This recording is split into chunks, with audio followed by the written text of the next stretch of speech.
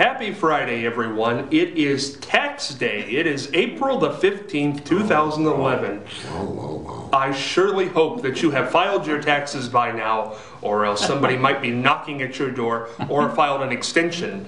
Uh, but tax day, TGIF to you out there in the audience. We do want to mention our sponsors. Uh, this week, brought to you by Peacock, or this day, Friday, brought to you by Peacock Water Conditioning. Their mission is simple they want you to love their water. 1800 Marion Marysville Road here in Marion, also located in Bucyrus. Call them 387 6312. Also brought to you today by Bubby Man's Games. Buy, sell, trade new and vintage games. 131 West Center Street, right here in Marion. Call them 341 7009. Open Tuesday through Saturday, 12 p.m. to 8 p.m. Closed Sunday and Monday. The Ohio Neck and Back Pain Relief Centers, Scott M. Gray, across from Marion Center between TSC and Kroger. Telephone number 386 6580. Scott's also written a great new book, Good Back, Bad Back, and you can get this at all fine bookstores and retailers. And also today brought to you by Night Owl Theater, located on the net at www.fritzlives.com.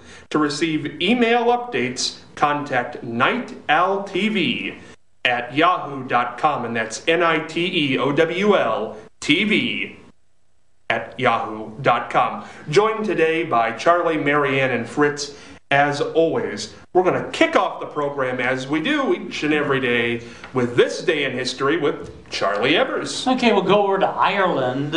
Politicians in Northern Ireland reach an agreement aimed at ending a 30 year siege of violence which claimed over 3,400 lives. Under the agreement, Protestants and Catholics in Northern Ireland would govern together in a new 108 member Belfast Assembly thus ending years of direct rule from London. There you go. And now, if you don't know what to do tonight, it's Friday night. It's one of the all time great movie nights. I have a gentleman here who can pick out something to you. It's called The Flick Pick with Fritz the Night Owl. Fritz? Uh, thank you, Scott. Uh, tonight, probably a movie that uh, is better known than the ones that, uh, better known today than the ones that I talked about earlier. It is a film noir mystery suspense classic called Double Indemnity. Goes back to 1944. It was a five star film then, it is a five star film now. Believe me, you won't fall asleep during this. It'll hold your interest all the way through on every level. Uh, Billy Wilder was the director. 1944 was the year it was made, regarded as one of uh, I think it's regarded as one of the 100 best films ever made. Stars Fred MacMurray, uh, Barbara Stanwyck, Edward G. Robinson, based on a superb novel by mystery writer James M. Cain, who also wrote Mildred Pierce and The Postman Always Rings Twice. Also, uh, great movies. It deals with uh, an insurance salesman, Fred MacMurray, who is seduced by a blonde wigged uh, Barbara Stanwyck uh, he sells her a po- she buys a policy on her husband, and he tells her about the double indemnity, how she gets uh, twice the money if he accidentally uh, uh meets his maker, and Fred gets involved in doing the husband in so that uh, um, Barbara Stanwyck can, can collect the double indemnity. Edward G. Robinson, usually the bad guy in most movies, is the good guy in this one. It's kind of interesting because MacMurray uh, who most people remember as the uh, nice father and My Three Sons, had to be convinced to uh, play this role. He's one of the most popular leading men, usually in light comedies or a couple of action adventure things with Errol Flynn and uh, did a couple of westerns and so forth. But generally, he, he was a good guy type, lighthearted, easygoing, and he didn't want to do it because he said, hey, I'm just a saxophone player who gets in these films with the Carole Lombard and so forth. This is so against type, but he did it, and he was superb as the villain. The dialogue is crisp and moving. The suspense is terrific.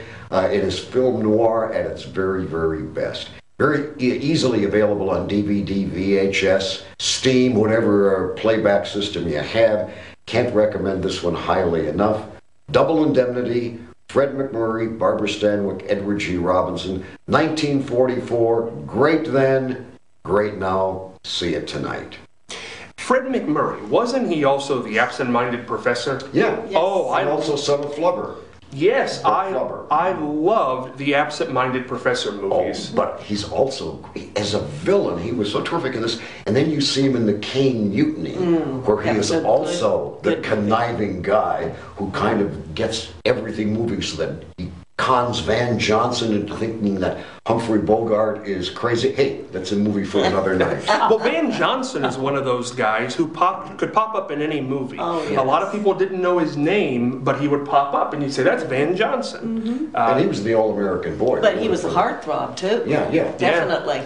Went on to do a lot of murder she wrote later on in his career. Oh, did he? I believe he did. Okay. Yeah, and lived to a good old. So did Fred MacMurray. Lived to happy old ages, and good for them. We do have a current event uh, this Friday to cap us off this week. Very interesting. I thought. I was reading the paper the other day. More women are embracing their gray hair. Can you believe this? The tide is turning on graying. More than 40% of Americans have some gray hair by the time they turn 40. More women have embraced their silver, white, gray, and salt and pepper locks. Celebrities such as Helen Mirren, Judi Dench, and Jamie Lee Curtis.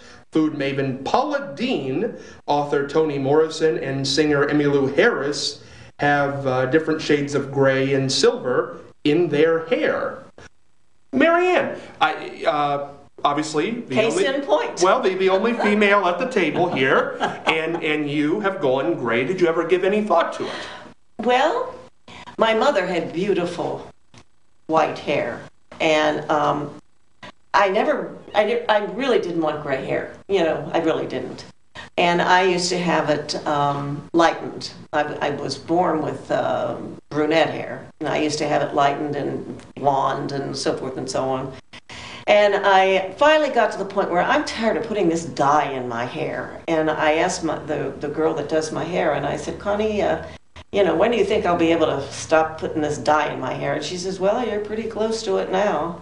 And I said, well, let's, let's don't put any more dye. And I'm very happy, very happy with my hair. In fact, I have been in places and people I don't even know, men that I don't even know, come up to me and say, oh, my, you have very nice hair, which really surprises me. Is your husband with you when these men are coming up to you? No, no. No, But he wouldn't care. He, He wouldn't care. No. Now, what age, if you don't mind, uh, did you actually go gray, but you were still using the uh, dyes and so Oh, forth? probably when I was in my 50s, maybe. And when you decided to stop using the dyes? In my 60s. 60s. So not too long. See, I'm giving away my age, aren't I? Did you ever think about it when you were on television?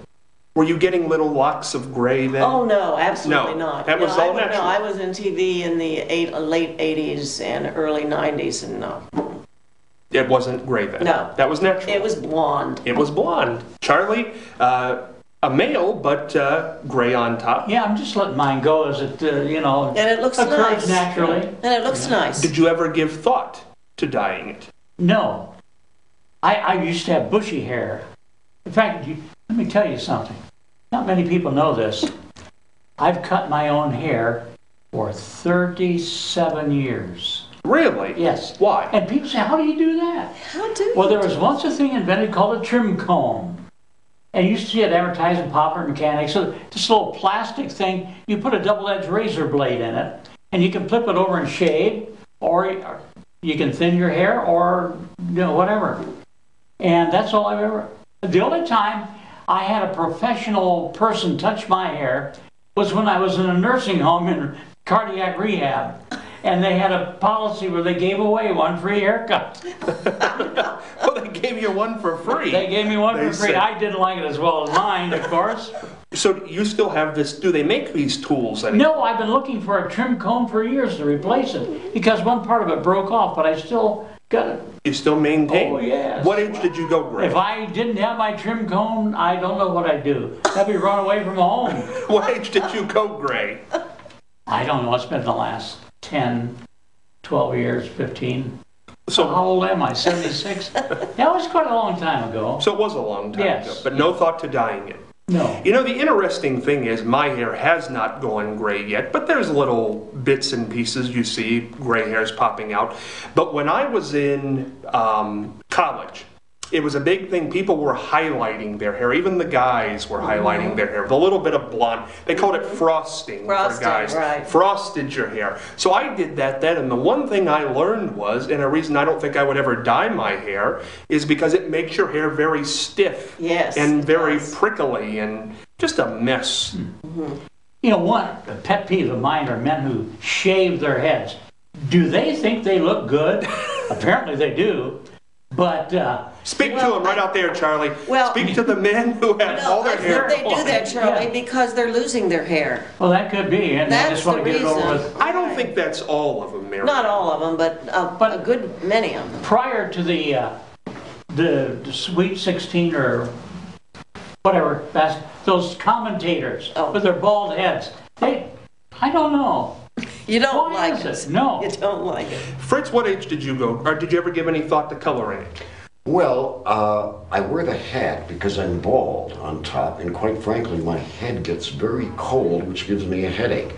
So it's not affectation or bad manners that I got the Count Basie hat on. It's literally, I wear a hat oh, probably most during the waking hours. And you want to know major league pain, be a bald guy or somebody who's thinning and get a sunburn on the top of it. Oh, That happened once, and that was when I got the hat. But in air conditioning, the head gets cold and then I get a headache, so I wear the hat. Uh, I wish I had enough hair to uh, dye, so uh, it's never been an issue one way or the other. would you dye it? If I had, if I had enough, I don't really know.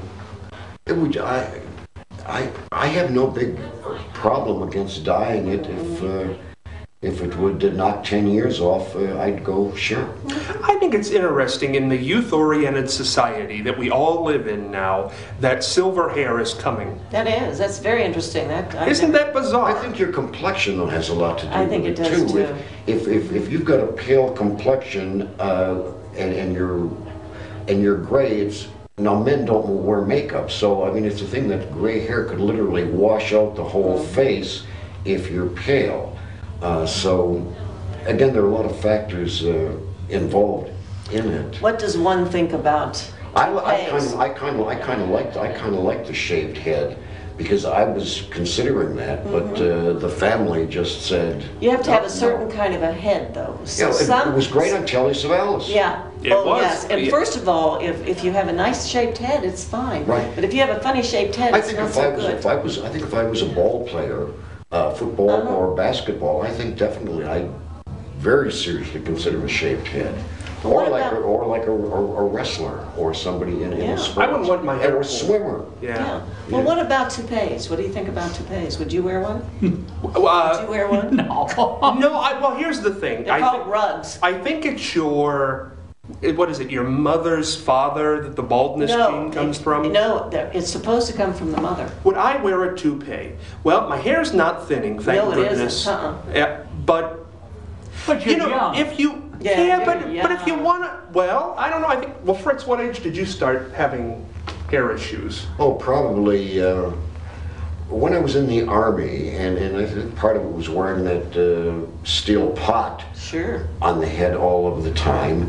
But uh, my on, on my father's side, uh, and my two brothers both have great heads of hair. It's all of my Sicilian ancestors that uh, I had the have Sicilian yeah, ancestors. Sicilian that, that had the Henry Mancini hairline. That is the hair just around and bald on the top.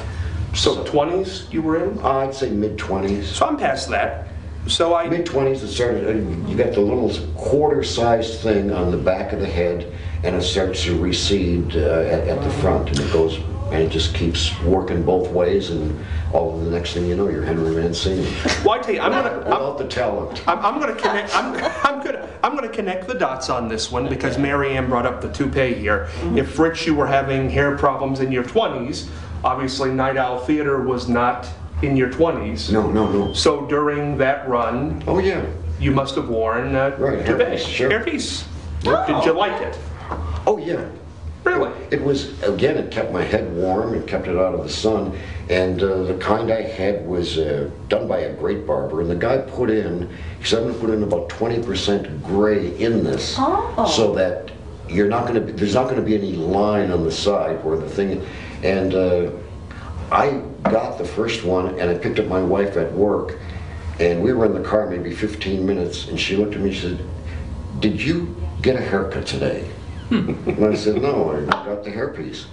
And it was that, the guy had done such a nice oh, job. Oh, that's on it. wonderful. And it was literally, you, you put a little bit of adhesive on the inside liner and you put it on like a hat and that was it for the day. Well, do you believe these ads that say that they'll grow hair, you know, that they'll... Oh, that can't be I real. think, no, I don't That see how can't- you could grow hair That- after you're a certain age. That's gotta be some of those other ads, that Yeah, pills I that will don't- change things that are, just ain't gonna happen. I happen. can't believe it.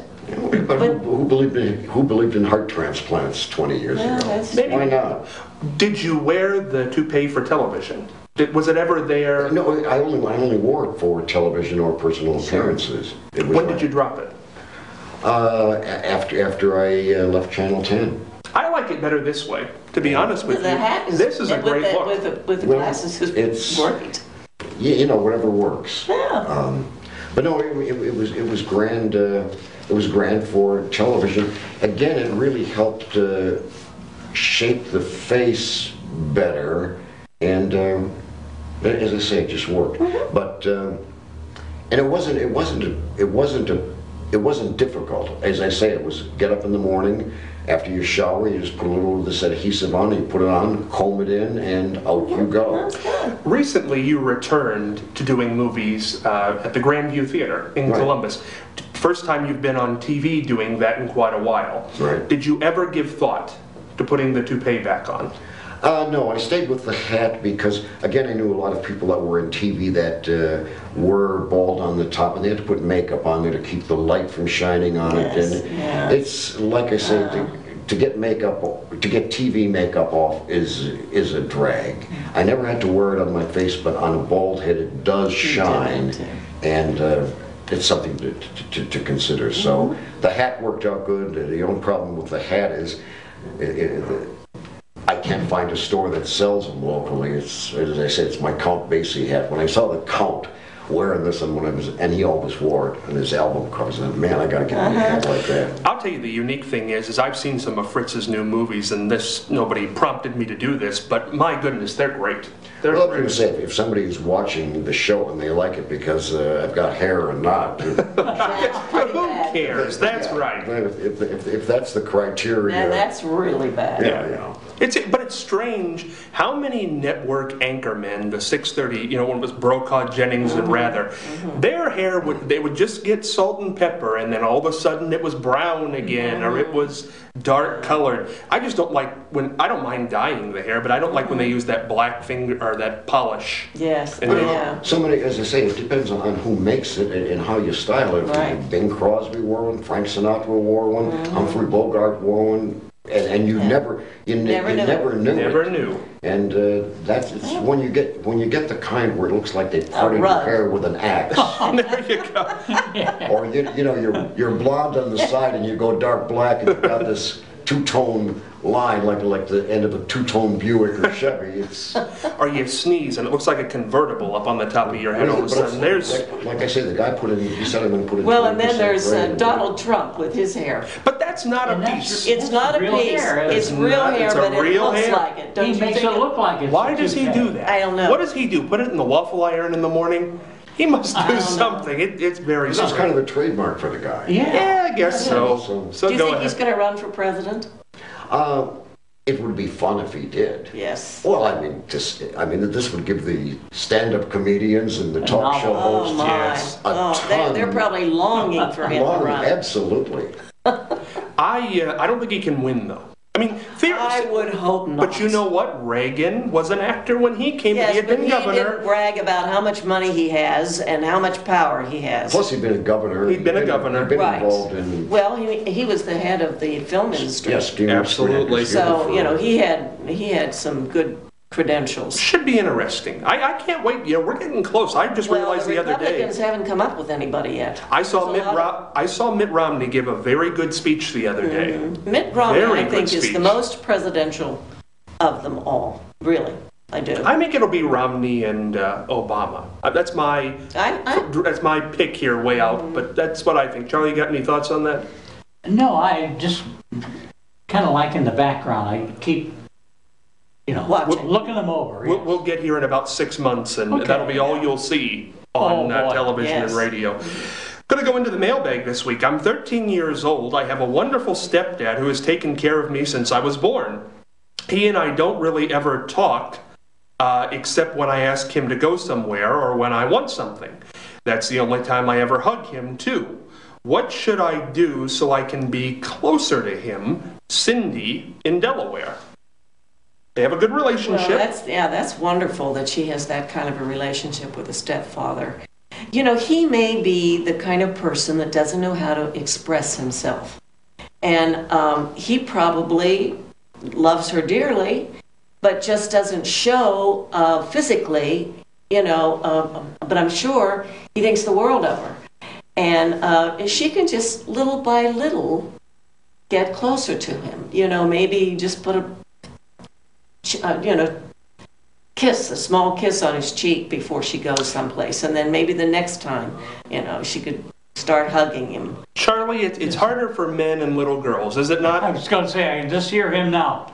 Now what do you want after that kiss? Yeah, yeah.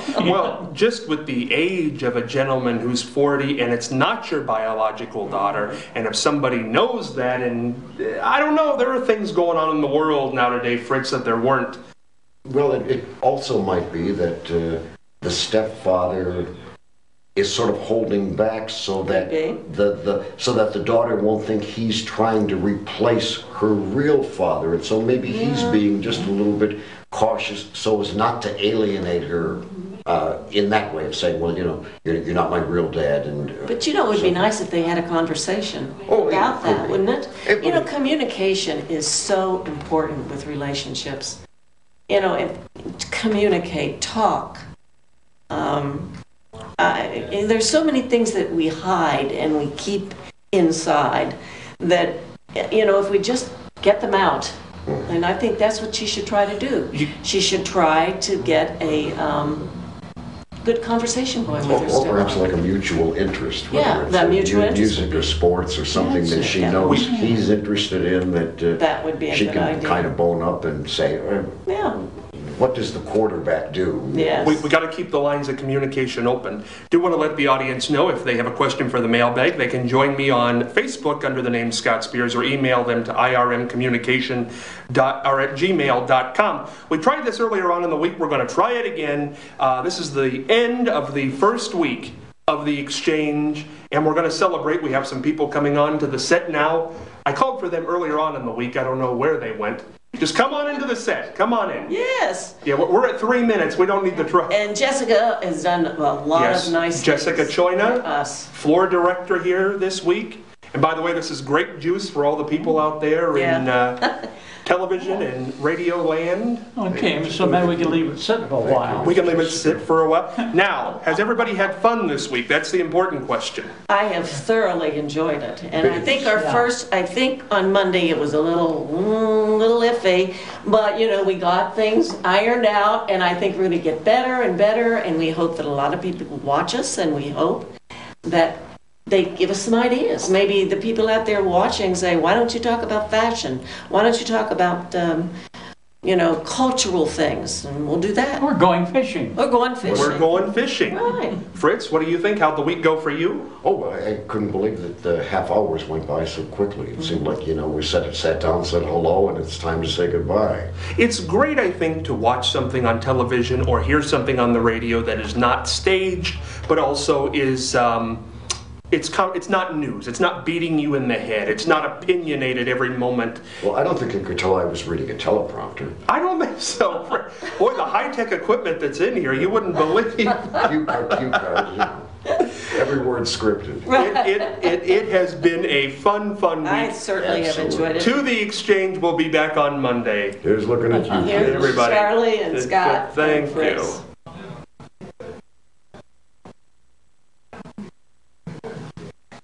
Good grape juice. It is good grape juice. And we'll all be back next week. Yes. Charlie, you'll, You'll bring some more juice? I'll bring some more juice. You'll, uh, you'll bring that dog that you like with the papers with you. Oh, Yes, You'll bring that tea. That's why you gotta watch every day. You That's gotta right. start watching on you Monday. never know. Yeah, that's exactly right. You never know what's going to happen on the exchange on whatever affiliate you're watching us on. Hope you're having a great time. Goodbye.